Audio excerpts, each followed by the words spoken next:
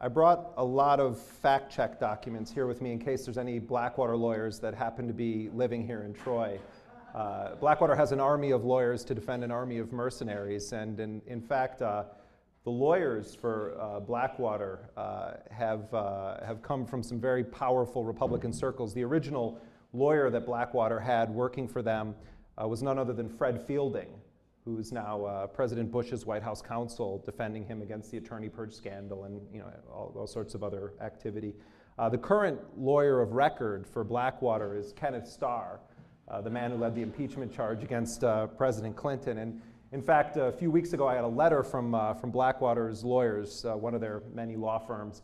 Um, and the letter said, you know, we, we respect your First Amendment right to criticize Blackwater, but can you please take down your website? Uh, we, had started, we had started a website called blackwaterbook.com just to have information about the, the book and the company and a sort of archive of information and materials, et cetera.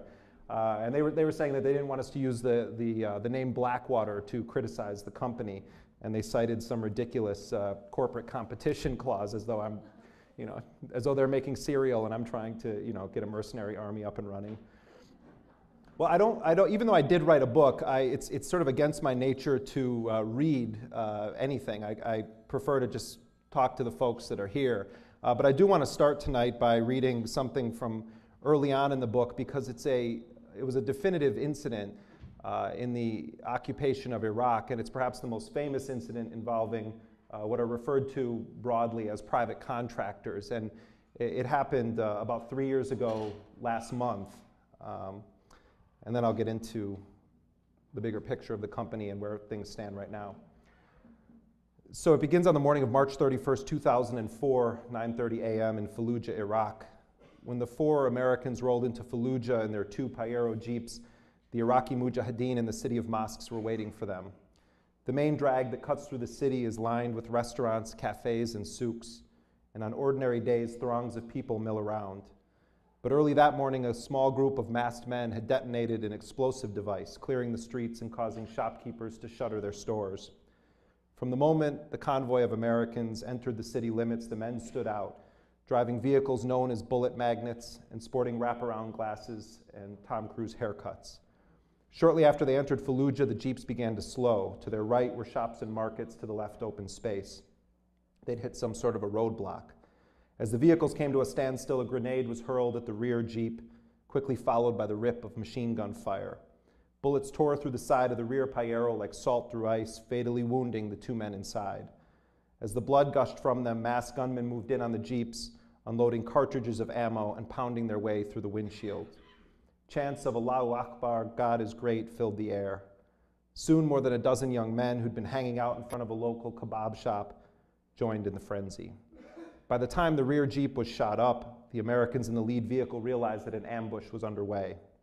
They tried to flee, but it was too late. The crowd quickly swelled to more than 300 people as the original attackers faded into the side streets of Fallujah. Their Jeeps were soon engulfed in flames. The scorched bodies of the Americans were pulled out, and men and boys literally tore them apart limb from limb. In front of the TV cameras, a young man held a small sign emblazoned with a skull and crossbones that declared in English Fallujah is the graveyard of the Americans.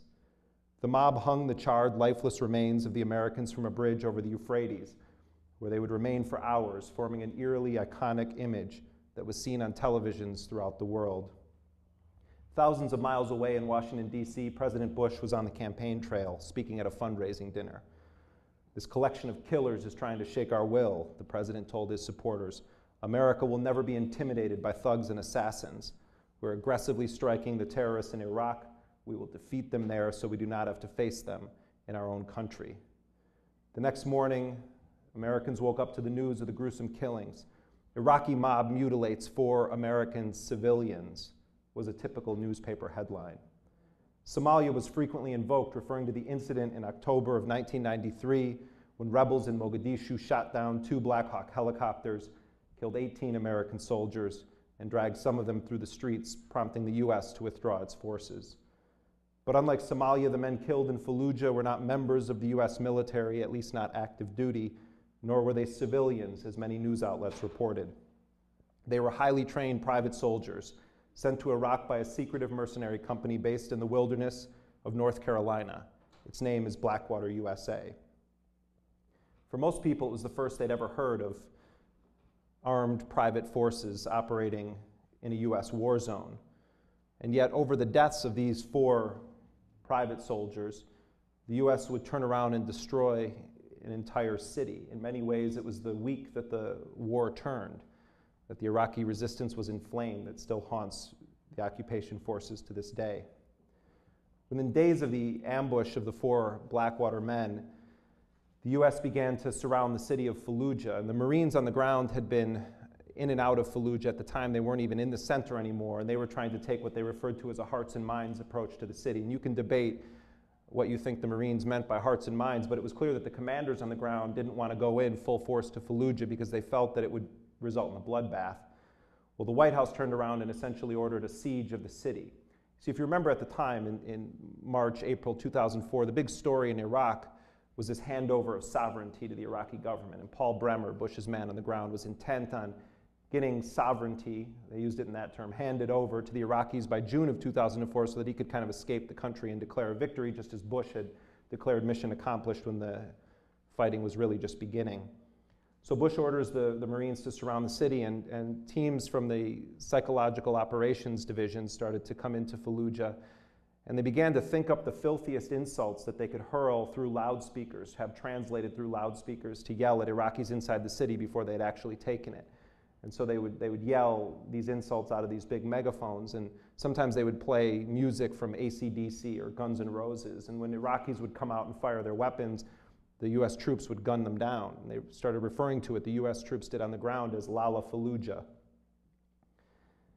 Early on in the siege of Fallujah, US helicopter fired a Hellfire missile at the base of a minaret of a mosque, and then that was followed by an F 16 coming in and dropping a 500 pound bomb uh, on the mosque compound, and the siege of Fallujah had begun. Within days, hundreds of people had been killed, thousands and thousands of people were forcibly expelled from their homes. The U.S. carried out an almost unimaginable 37,000 airstrikes in a matter of a few days, destroying about 19,000 of Fallujah's 40,000 buildings. A friend of mine, an unembedded uh, independent journalist, Dahr Jamail, was actually able to make it into the city during the siege uh, with another uh, unembedded reporter, and they went in with a humanitarian delegation, and they reported that U.S. snipers were firing at ambulances trying to go and retrieve the wounded from the center, center of the streets. And he also said that a stench had overtaken the city of Fallujah and that the smell was uh, rotting flesh of people that had been killed and their bodies left in the streets, and that dogs were starting to move in on piles of bodies and eat them. And Dahr also said that the residents of Fallujah had taken two massive football fields and turned them into mass graves.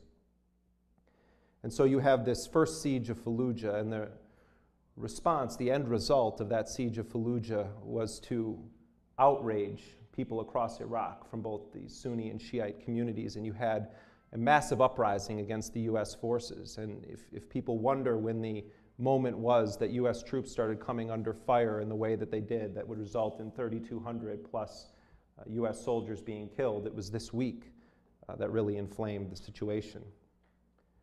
Well, back in the U.S., while the siege of Fallujah was going on, the men who ran Blackwater kicked into high gear. Uh, the head of Blackwater, Erik Prince, turned to an old friend of his who was a senior partner at a powerful Republican lobbying firm, one of the K Street Project jewels was a company called Alexander Strategy Group. It was started by former senior staffers of Tom DeLay, who at the time was the House Majority Leader. It also had ties to Jack Abramoff. So Erik Prince from Blackwater gets this lobbying firm, Alexander Strategy Group, and within a week he was sitting down with other Blackwater executives, with the men who literally ran Congress at the time. What was said at those meetings, what came out of them, is not a matter of public record, and none of the participants will talk about it. But Senator John Warner, the chair at the time of the Senate Armed Services Committee, said that uh, Blackwater and other contractors are our silent partner in the war on terror.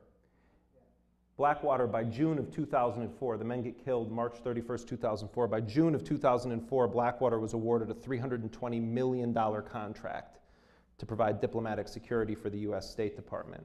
I just got back documents on a Freedom of Information Act request that I filed some time ago and determined that since June of 2004, Blackwater has been contracted to the tune of three quarters of a billion dollars just by the US State Department. That doesn't count its work for the military, it doesn't count its work for the CIA, for private companies, for other agencies of the US government. Three quarters of a billion dollars on one State Department arrangement Blackwater has won. And this was a company that 10 years ago didn't even exist. 10 years ago, this company didn't exist. Today, it's the Praetorian Guard of the Bush administration's so called war on terror. And I want to talk a little bit about the history of this company, how it started, how it rose up, because in many ways, the story of Blackwater is the story of the future of not only warfare and the US war machine, but in many ways, the, the future of US democracy and the sovereignty of other nations. Blackwater was started by this guy, Erik Prince. He's believed to be one of the wealthiest, if not the wealthiest, uh, person ever to serve in the elite US Navy SEALs. Comes from a very powerful Republican Christian conservative family in the state of Michigan. Erik Prince's father was a guy named Edgar Prince, and he was a pull yourself up by your bootstraps capitalist. He built up this incredible manufacturing empire in the 70s, 80s, and 90s in Michigan. It was called Prince Manufacturing. They serviced the auto industry, and the, the invention that the company was perhaps best known for uh, was something that many of you probably have if you drive cars. Uh, they invented the now ubiquitous lighted sun visor. If you pull the visor down your car, it lights up. That's, you have a little bit of Blackwater's history in your vehicle. Uh, they also had some uh, inventions that didn't work out, like a ham deboning machine.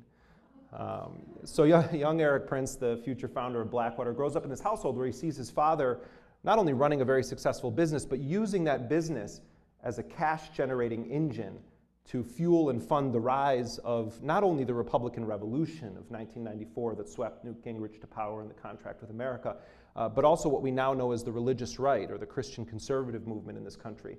Uh, Erik Prince's father gave $400,000, the seed money, to Gary Bauer, uh, the man who's on a rampage against SpongeBob. Gave him $400,000 to start the Family Research Council. Gary Bauer, of course, regularly runs for president as the furthest to the right he could get without falling off the cliff. Um, the family also provided significant funding to uh, James Dobson and his focus on the family prayer warrior networks. Uh, Erik Prince's sister, Betsy DeVos, uh, well, I let it slip there. Betsy Prince married Dick DeVos, the heir to the Amway Corporation, the single greatest bankrollers of the Republican Revolution. These guys used their home products company as essentially a, an organizing network uh, to, to build this Republican Revolution. They gave millions and millions of dollars to ultimately shape the future of the country, which they did very, very successfully. Uh, young Erik Prince, who would go on to found Blackwater, was an early intern at the Family Research Council, but also at the White House of George H.W. Bush. But he complained that it wasn't conservative enough for him. And he cited gay issues, the budget, and the environment. He also was, a, uh, was an intern, although later he would claim he was a defense analyst, uh, but he was an intern uh, for Representative Dana Rohrabacher, conservative Republican of California. Rohrabacher is an interesting guy. He was a senior aide to Ronald Reagan uh, when Reagan was president, was also one of his top speechwriters. Uh, he left the White House and then ran for Congress, won a congressional seat, and before he started serving his congressional term, he went over to Afghanistan to fight against the Soviets on the side of the Mujahideen. This is Representative Dana Rohrabacher. These were the people that peppered the political landscape of young Erik Prince. In the 90s, Erik Prince goes off. He joins the U.S. Navy SEALs. He's deployed in Haiti, Bosnia, the Mediterranean. But in the mid 1990s, tragedy hits his family. His father dies of a heart attack suddenly. His wife has cancer. Erik Prince leaves the SEALs, goes back to Michigan to try to help the family sort through the business. What they ultimately decide through their deliberations is that they're going to sell Prince Manufacturing for $1.35 billion in cash. Eric Prince takes his share of the family fortune, heads out to North Carolina, gets together with a bunch of his buddies from the Special Forces community, like minded guys, and in December of 1996, they incorporate Blackwater Lodge and Training. That was the original name of the company. It was built on 5,000 acres near the Great Dismal Swamp of North Carolina. And a lot of people think, oh, Blackwater, it sounds so ominous. It must be some you know, term from the SEALs or a covert operations term. It actually, by all accounts of people involved with the founding, was just a sort of tip of the hat to the dark waters of the swamp uh, near the 5,000 acres upon which Blackwater was built. And in the beginning, the, the, the, company sort of was, they envisioned sort of two roles for it. On the one hand, it was meant to be a sort of sportsman's paradise where gun enthusiasts could come and fire off their weapons. Uh, but also, early company literature indicates that they were anticipating what they referred to as accelerated government outsourcing of firearms and security uh, related training. Uh, and Blackwater's early days were rather quiet until April of 1999 when the Columbine shootings happened. Blackwater responded to the Columbine shootings by creating a mock high school uh, on their compound, and they called it Are You Ready High? Uh, and they invited law enforcement agents from around the country to come to Moyock, North Carolina, and train in how to face down against school violence. And it was the first of almost annual tragedies that would benefit Blackwater. The next year, the USS Cole was bombed off the coast of Yemen. And Blackwater was awarded a $35 million contract from the US Navy to train sailors on how to defend their vessels against those kinds of attacks. But it wasn't until 9 11 when the big money started rolling in for Blackwater and the company started to engage in mercenary activities. Um, Erik Prince, the founder of Blackwater, was on, uh, to my knowledge, one television program his entire career. And you can guess what network he went to after 9 11. He, was, he went to Fox News. He was on Bill O'Reilly's show, The O'Reilly Factor, and he says after 9 11, I was starting to get a little cynical about how seriously people took the business of training and security. Now the phone is ringing off the hook. One of the early calls that came into Blackwater after 9 11 was from the Central Intelligence Agency, which contracted Blackwater to go into Afghanistan in the early stages of operations there. And that began Blackwater's work as a mercenary company. In fact, Erik Prince, he's only 37 years old right now. Erik Prince went in with that initial Blackwater deployment to Afghanistan. They were positioned in Shkin along the Pakistan border. And so this is the, the, the, beginning stages of this mercenary operation. And at this point, I think we should back up for a second because what we're looking at here is the fulfillment of, a, of what uh, Rumsfeld likes to call a revolution in military affairs. It goes all the way back to the, to the early 1990s. Dick Cheney's defense secretary, the end of the Gulf War, one of the last things he does before leaving office and joining Halliburton was to commission a study from a division of Halliburton, the company he would go on to head, he paid Halliburton $5 million to essentially create a market for itself and other war contractor companies. Halliburton's job, the division of Halliburton, the job of that study was to, to look at how to privatize the military bureaucracy, essentially privatize everything except the combat, uh, except what they call mission critical activities.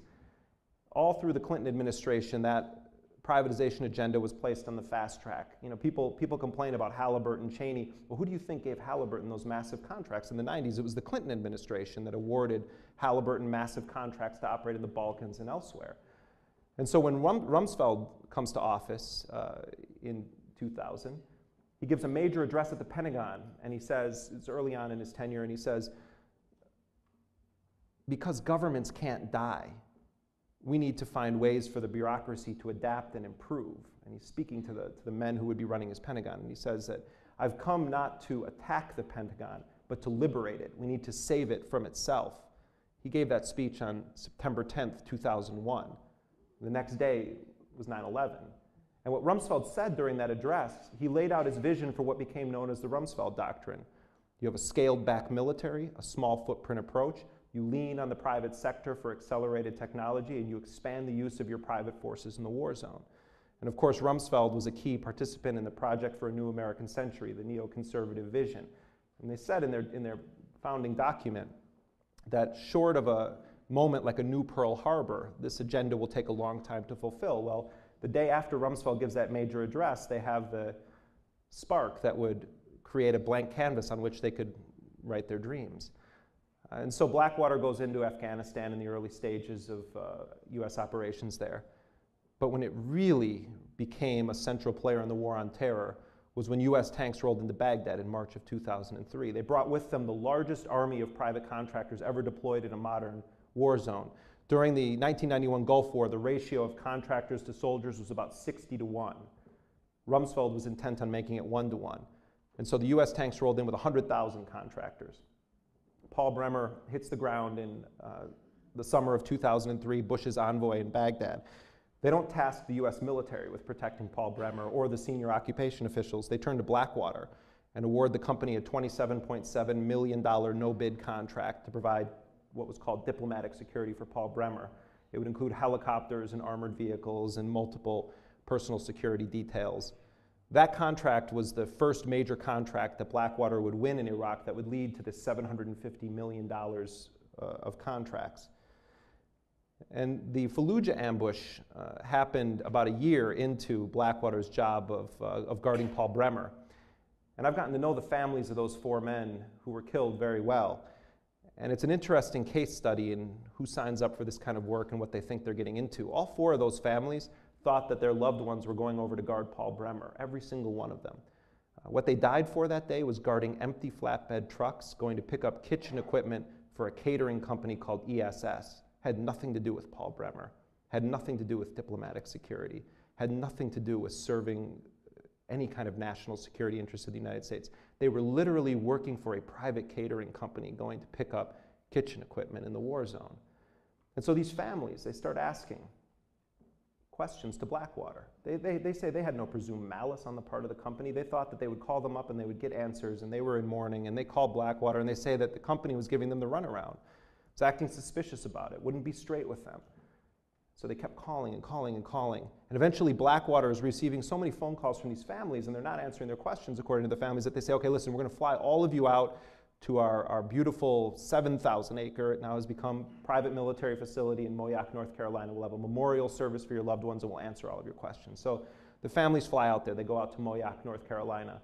And they said that when they hit the ground in North Carolina that it was like stepping into some sort of Orwellian scenario because they said Blackwater assigned each of the families a minder of sorts. Reminds me of my days in Saddam Hussein's Iraq. And they, they would kind of guide them around. And if they would start talking amongst each other, the families, about the ambush and questions they had, they say that the Blackwater guys would sort of steer the conversation in a different direction. And eventually they, they, they sit down and they have this meeting where they're going to answer all these questions. And one of the mothers of, of one of the guys killed, her name is Donna Zovko. Uh, her son's name was Jerry Zovko. She starts asking the Blackwater representatives for her son's belongings. She, I, my Jerry had two duffel bags. Where his duffel bags? And she said that they, were, they weren't giving her, her the duffel bags. They wouldn't answer any questions about it. They were being kind of hostile with her, and she didn't quite understand why. And then she said, And I know you did an incident report. I know that there's paperwork on what happened that day in Fallujah. I want to see it. I want to see what the company's investigation found about the death of my Jerry. And she said she persisted in her questioning, and eventually a Blackwater representative stands up and says, It's a classified document and you'll have to sue us to get it. You have to sue us to get it. And so that woman, Donna Zovko, got to know the mother of another one of the guys killed named Katie Helvenston. Her son was the youngest person ever to complete the elite Navy SEAL BUDS program. 12 years in the SEALs, seven of them as an instructor, a world class pentathlete. Trained Demi Moore for her movie G.I. Jane on the Navy SEALs. He was one of those guys killed in Iraq. So these two mothers get to know each other. They start comparing notes and they start hearing from some of the guys that served with their sons over there, and they said that, you know, there's a lot of fishy stuff about this operation. They were supposed to be in armored vehicles. They were in Pajero Jeeps. They were supposed to have three man, men to a vehicle. There were only two that day. They started hearing all of these disturbing things, and eventually they decided that if Blackwater's not going to answer our questions, we're going to sue Blackwater. And so in January of 2005, these four families, the families of those men, filed a groundbreaking wrongful death lawsuit against Blackwater. And they filed it in the state of North Carolina, Blackwater's home state where if it was heard in state court, there would be no cap on damages that a jury could award. Uh, sort of be like a domino effect. Once the first war contractor falls, it sets off a chain reaction. Some people have talked about it being similar to the tobacco litigation of the 1990s. Well, what Blackwater does is enlists these powerful lawyers. Fred Fielding, the original lawyer on the case, now Bush's lawyer. And it's interesting because Blackwater has never taken on the specific allegations of the family.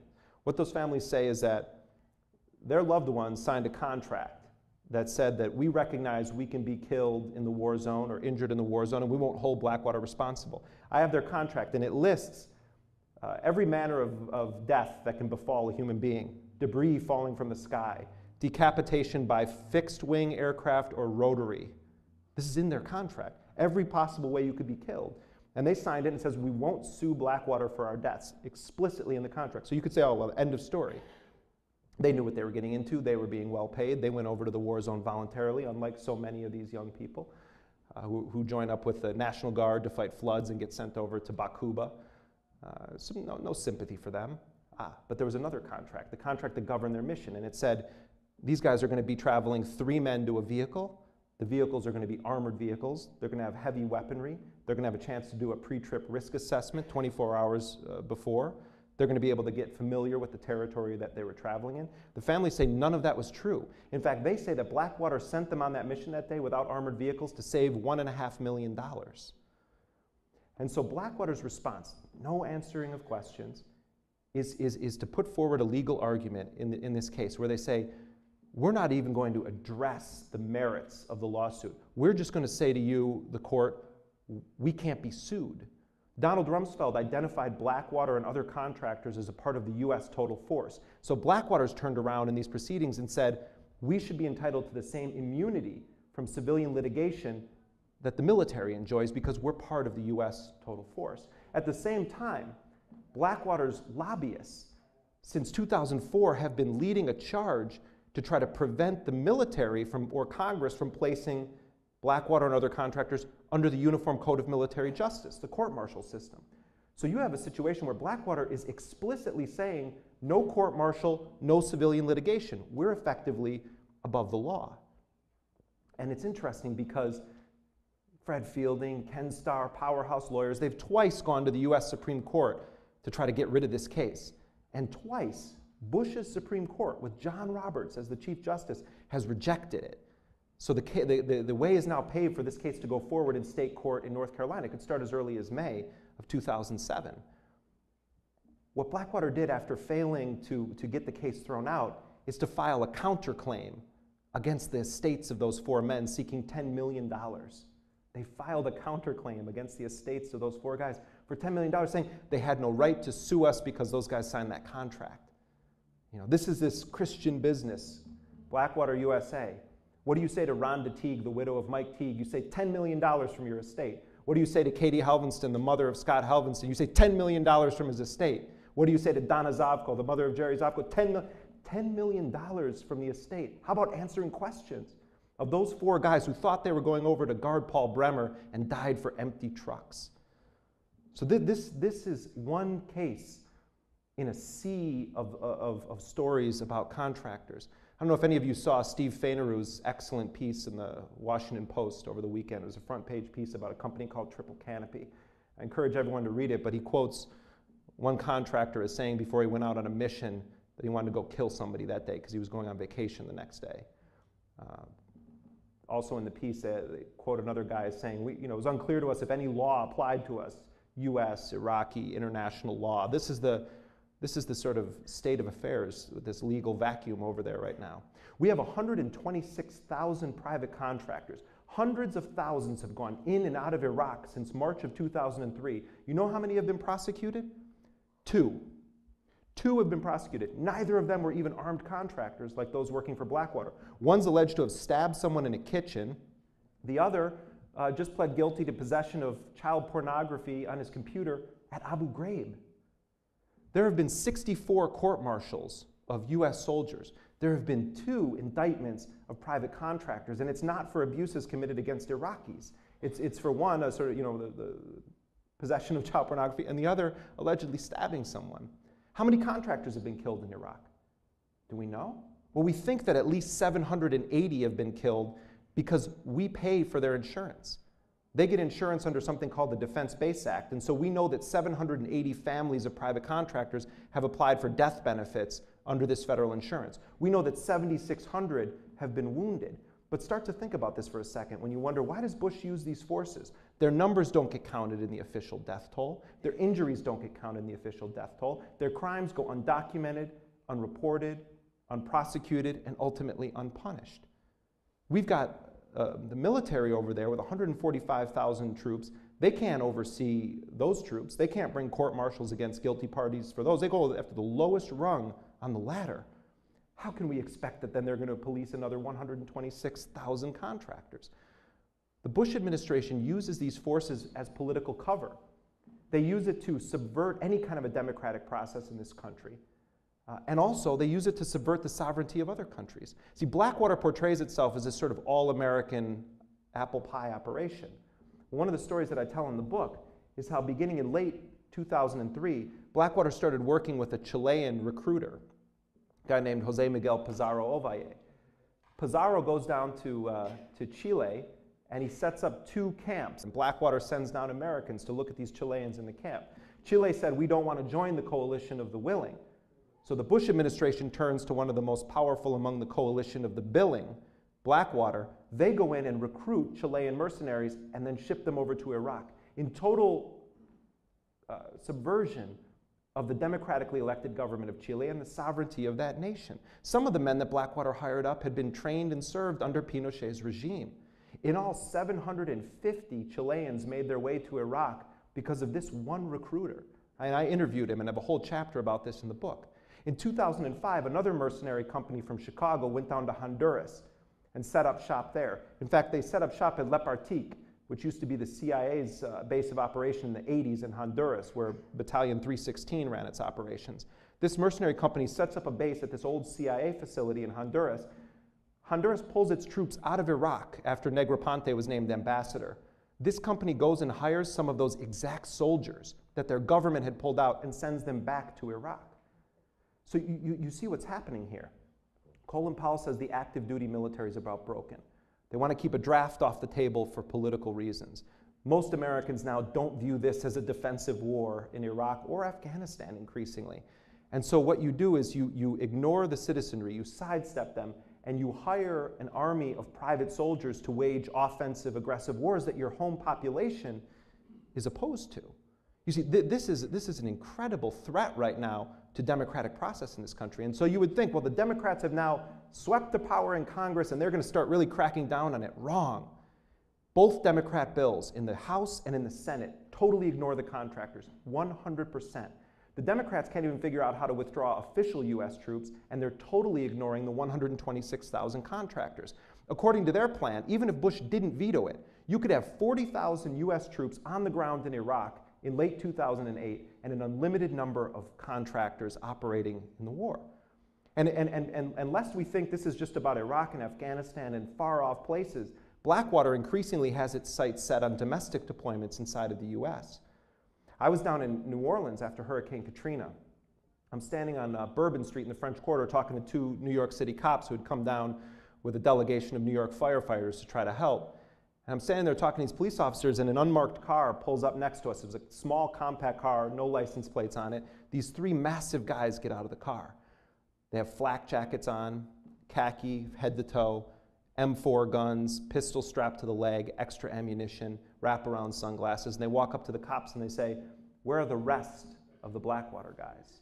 Where are the rest of the Blackwater guys? And the cops say, Oh, they're just down the street, without skipping a beat. The cop, Oh, yeah, they're down the street, as though they'd always been there.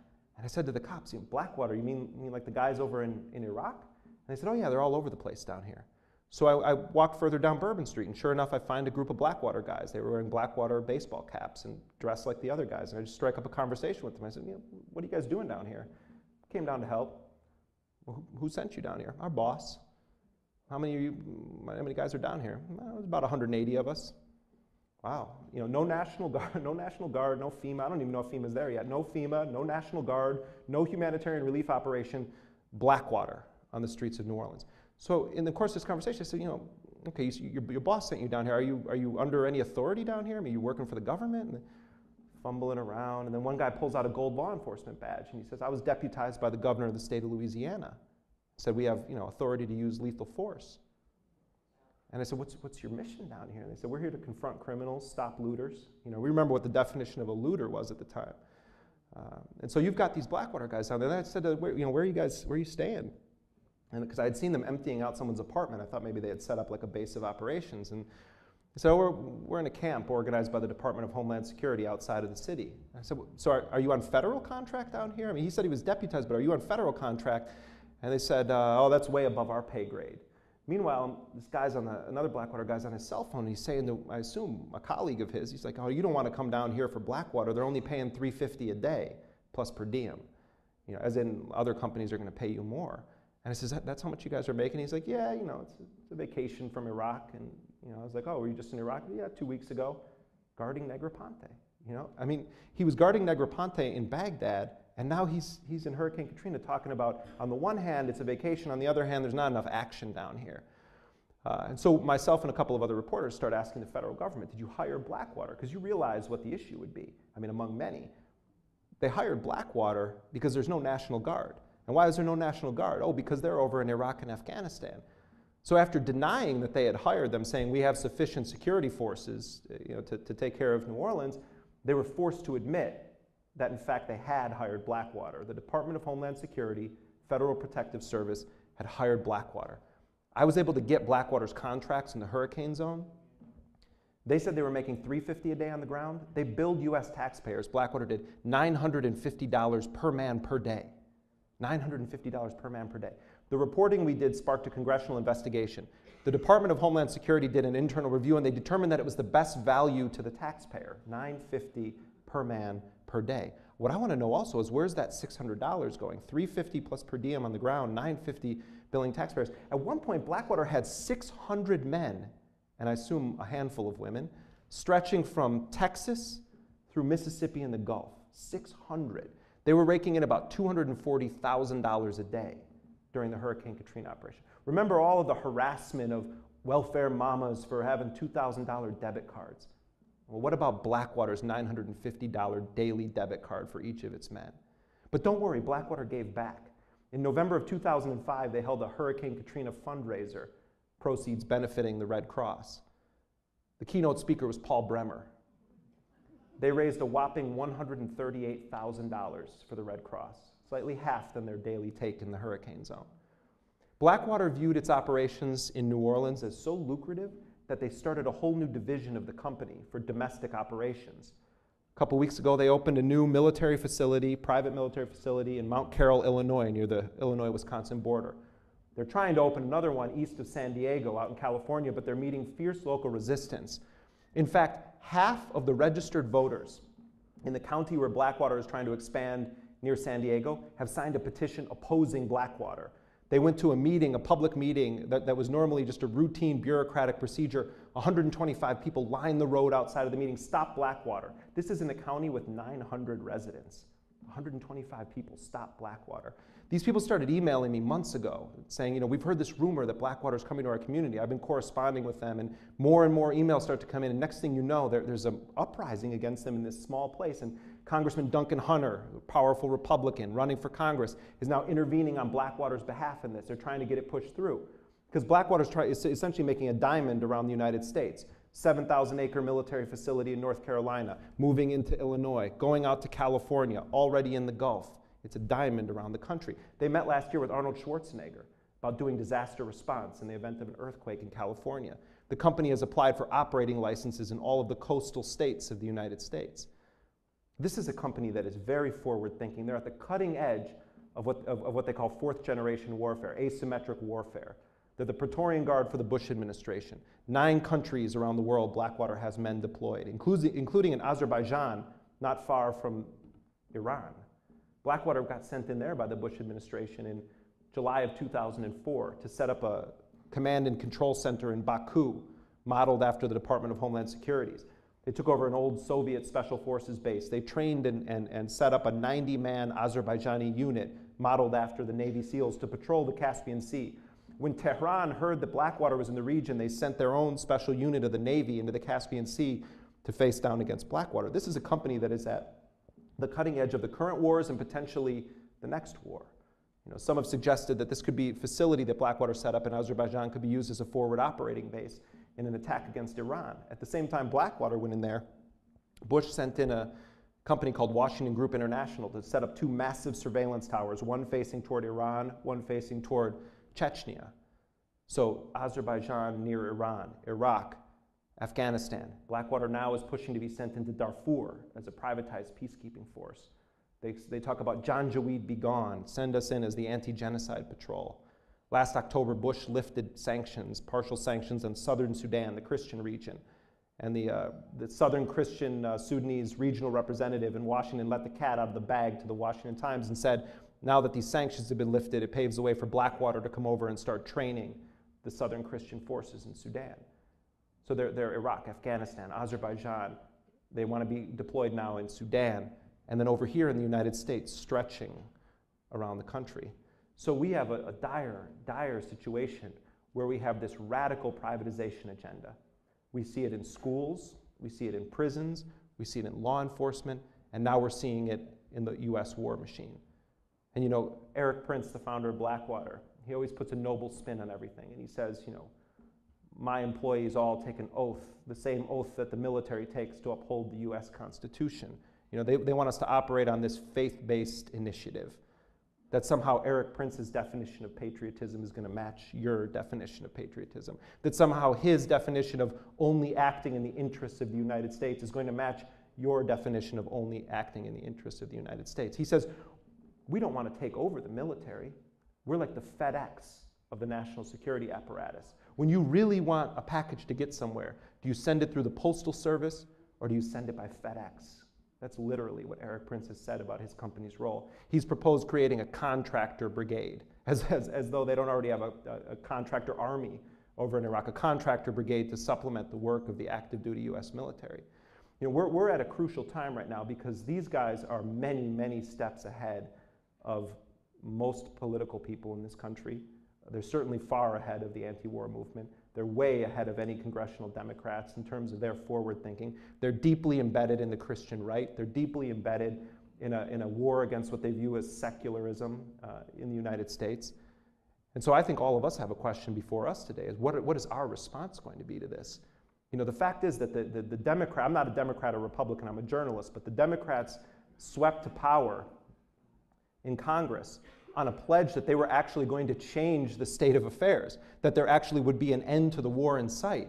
And what they're doing right now is making these proclamations Barack Obama, no chicken with the troops, Carl Levin, we would never defund the war. How about defunding the war profiteers? That would be a start. Is it supporting the troops to pay them 28 to $40,000 a year and, and pay the well paid guys from Blackwater $30,000 a month? What kind of corporate welfare machine do we have operating here? How is it that the Democratic Congress is essentially doing the same as the Republican Congress when it comes to these contractors, which is nothing? Henry Waxman held a hearing on February 7th on contractors. That was a start of a process, but the Democrats are narrowly focused on the issue of oversight, transparency, fiscal responsibility. How about the privatization of war? How about a shadow army? How about subverting the democratic process in this country? The only congressperson who has called for a total withdrawal of US contractors from Iraq is Dennis Kucinich. It's sort of like this Lone Ranger guy in Congress. But this, this, this isn't the stuff of wacky leftism here. This, this cuts across the political spectrum. I've never gotten so many emails that begin, I never thought I'd be writing an email like this to someone like you. And, and, and it's signed, and it's signed from, from military folks, it's signed from contractors who've been over there and say, you wouldn't believe what's going on. At almost every talk I've given, at least one or two people who served with private war contractors in Iraq has come to the talk. And I really appreciate talking to those guys because they've seen it firsthand. And I think that you know, in, in closing, I hope that we can have some kind of a dialogue here. But there's one concrete thing that I think all of us can do, and that is whatever your position is on the withdrawal of U.S. troops from Iraq, I, I don't see this as a Democrat, Republican, conservative, or liberal issue. We have a small window here where there are people who will listen uh, in some cases, in Congress right now. This is an issue that I think cuts across the political spectrum in this country. I, I think we need to encourage Congress to A, cut off the funding for the war profiteers, and B, pass effective anti mercenary legislation that delinks corporate profits from war making. Thank you.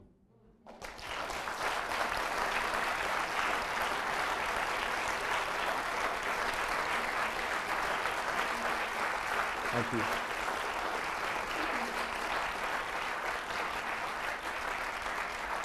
I don't know if there was a, uh, some way we're supposed to do this, but I'm, I'm happy to just, you know, have a discussion. And whoever wants to ask, I guess, it, I guess that's how we're doing it. I was in Burlington and I got heckled before I even started speaking, but it was, you know, someone who wanted to, didn't think I was going to say something negative about Hillary Clinton. I wanted to make sure that Hillary got slammed at the uh, talk. I said, don't worry, don't worry about it, buddy.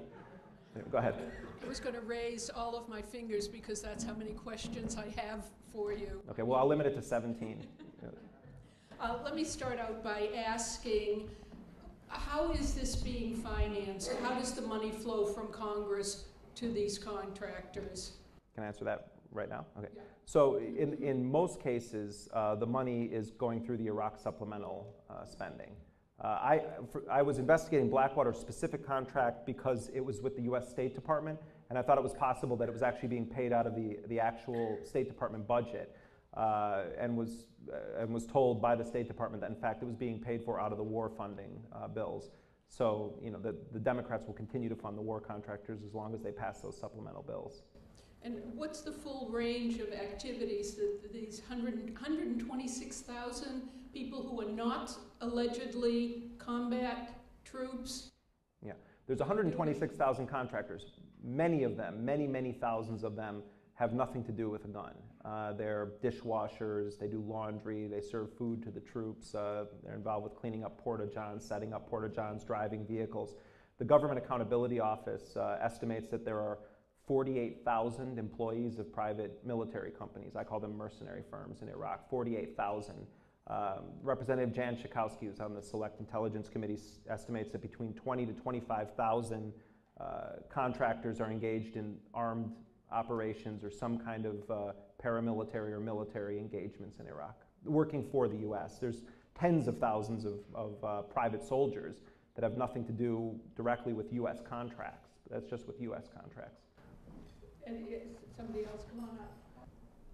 I, I think that one way of looking at it is to uh, also look back at, um, at Central America in the 80s, where the, if there is an unpopular war, um, you needed proxies to run it. So they used the Contras back then, and now they're using Blackwater. I urge people to go to their website, as Jeremy said. It's amazing. And actually, one of the things I noticed is BlackwaterUSA.com. yeah, you pay depending on how much ammunition you get when you Right. get their courses. So you could, what what would be the chances of have hearings in Congress and Yeah. and what would that do any good at all or? I mean, I, you know, I, I've never been a, a big believer that Congress is going to change much of anything. I do think, though, that um, that this is a, a, a different sort of situation because I think that regardless of what the position of the of the Democratic, uh, you know, of the politicians on the Democrat side is in terms of defunding the war, to me, it's a no-brainer to defund the mercenaries. Uh, and it, it should be a no-brainer to all to, to all Congress people. I mean, this is this is an outrageous uh, you know subversion of democracy. I think, and I think that uh, it's worth a campaign to try to get Congress to cut off the funding for the private troops in Iraq and withdraw them. I mean, that that would be a absolute first step that I would find rejection of almost indefensible by the certainly by the Democrats, and I think by a lot of Republicans when their constituents find out about the extent of the spending on these mercenary armies. The other possible kind of resistance, I was thinking, like, there's been s- such a growing movement against the School of the Americas. Of course, now they're decentralizing and going to Panama or wherever. But um, w- w- how well defended is the Blackwater camp, and would a demonstration there similar to the School of the Americas make any sense Yeah. or be useful?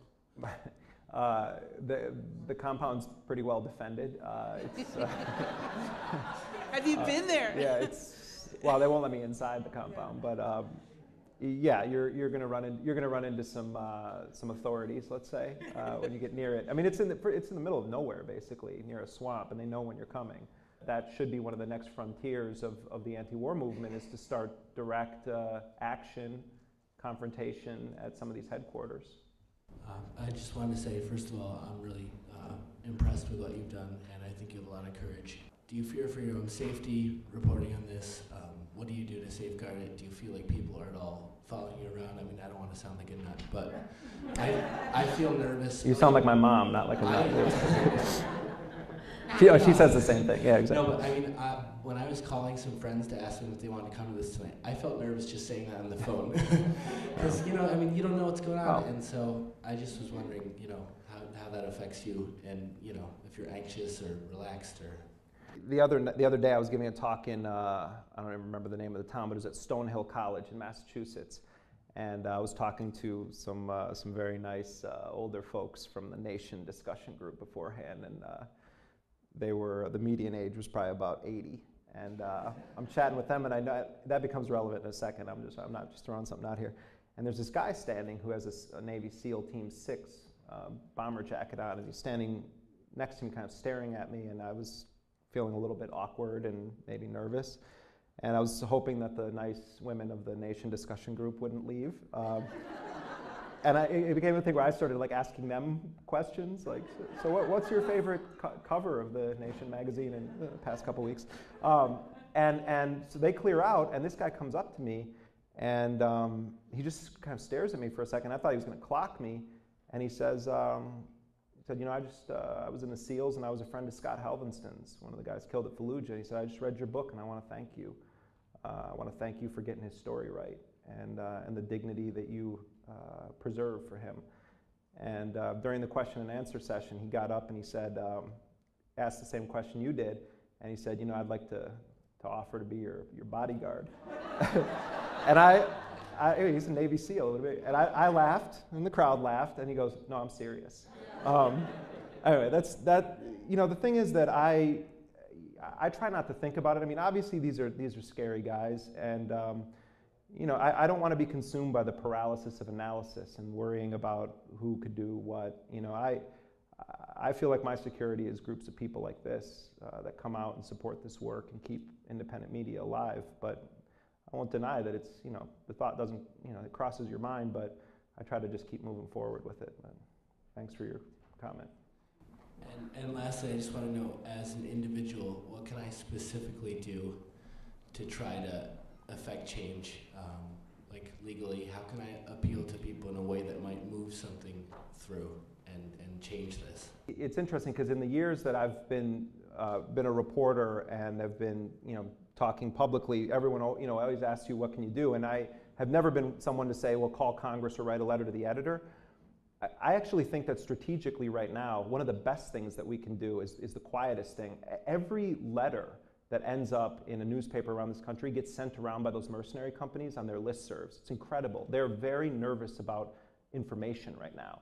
And I think that you know, the, the, the more that we press elected officials to stop ignoring this issue, the more that we raise it in our local newspapers are so important.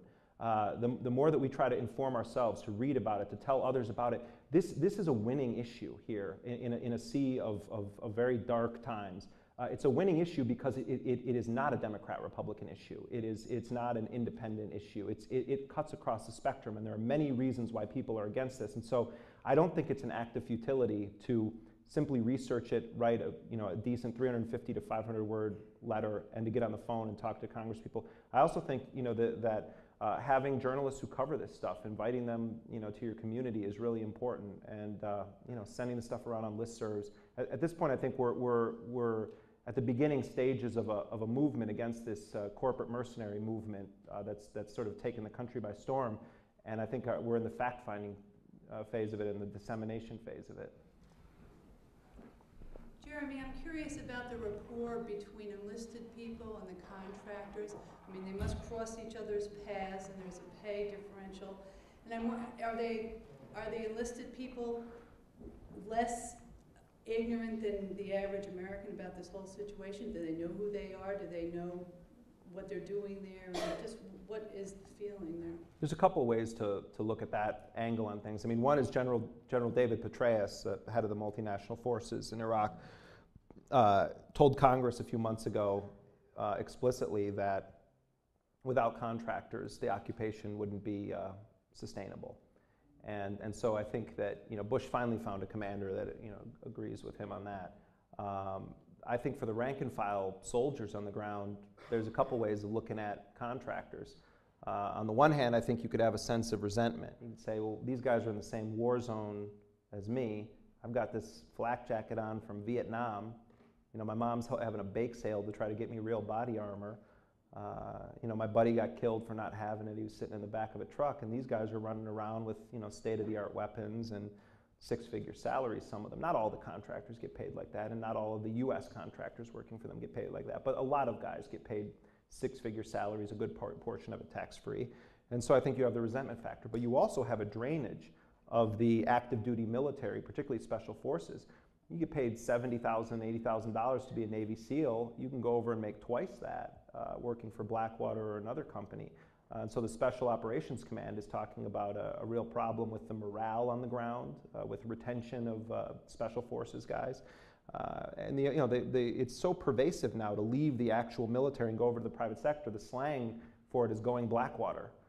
Um, if you go to any company, not just to Blackwater, and there, you know, there's about 180 known mercenary companies operating in Iraq, uh, it creates a real morale problem, I think, for the troops on the ground, and it also is a, another way of siphoning resources away from, uh, from public institutions with some semblance of accountability. Uh, well, thank you everyone very much for coming. Really appreciate it. I'm happy to stick around and talk to people and sign books if you want to buy them or if you already have it. Thank you very much, Jeremy Scahill. Hope to see you back in Troy again very soon.